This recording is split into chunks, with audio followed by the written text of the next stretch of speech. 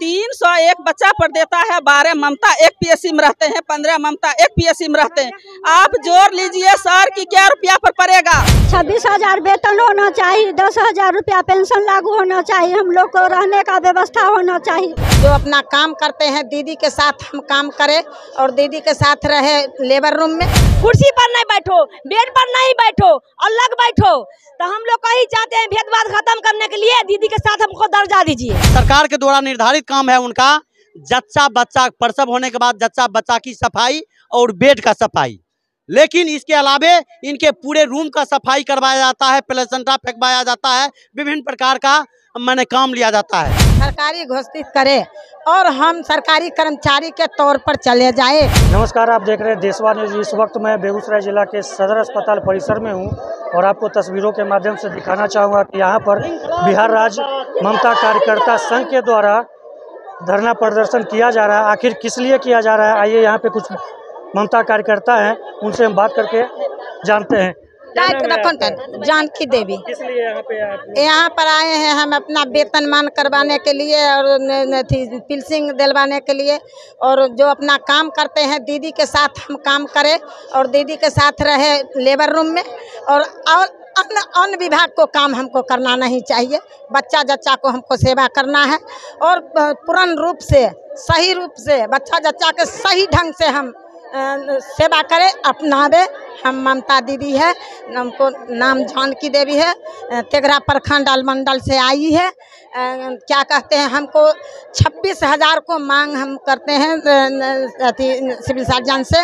और और क्या कहते हैं, हम लोग छब्बीस हज़ार को मांग करते हैं और ये हम चाहते हैं उन लोगों से जो हमको सभी ममता दीदी को, जितने पूरे बिहार में है, सभी ममता दीदी को सरकारी घोषित करे, सरकारी घोषित करे और हम सरकारी कर्मचारी के तौर पर चले जाए और हम बच्चे जच्चे को सेवा करने में धूमधाम से लगा रहेंगे।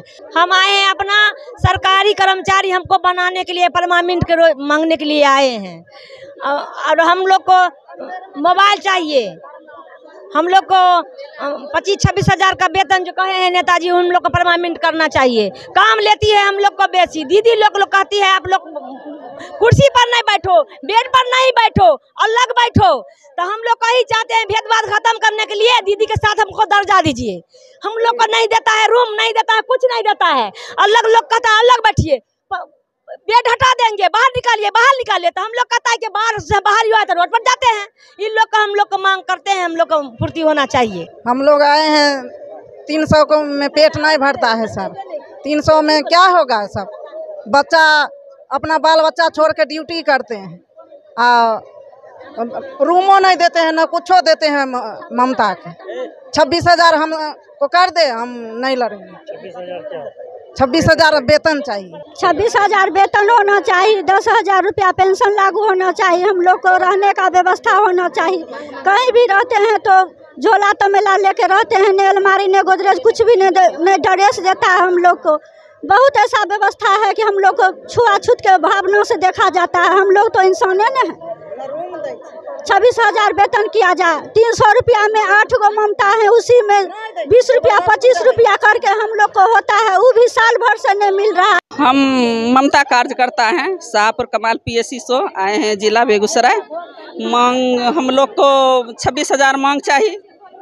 और दो सेट ड्रेस को कपड़ा, ड्रेस और मोबाइल।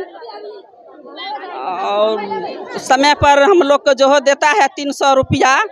एक बच्चा पर तीन सौ रुपया देता है।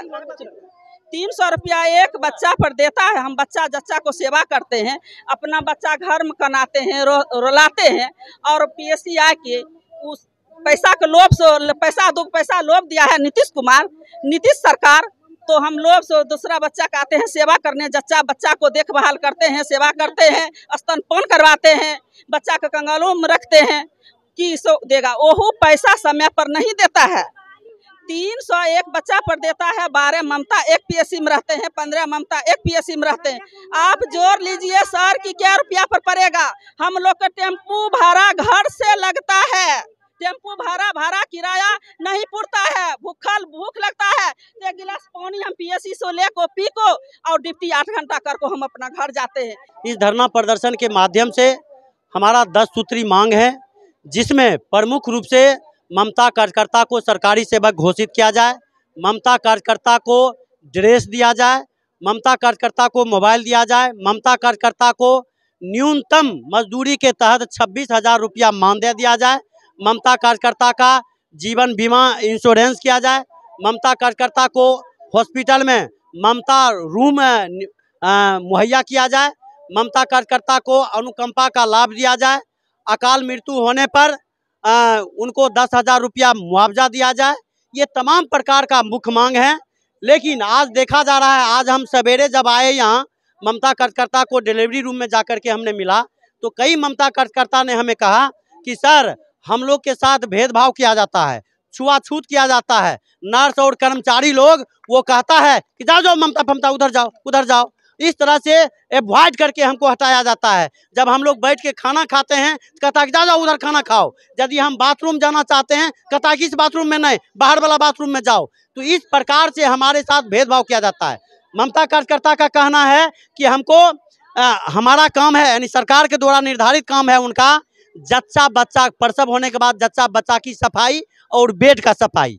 लेकिन इसके अलावे इनके पूरे रूम का सफ़ाई करवाया जाता है प्लेसेंटा फेंकवाया जाता है विभिन्न प्रकार का मैंने काम लिया जाता है।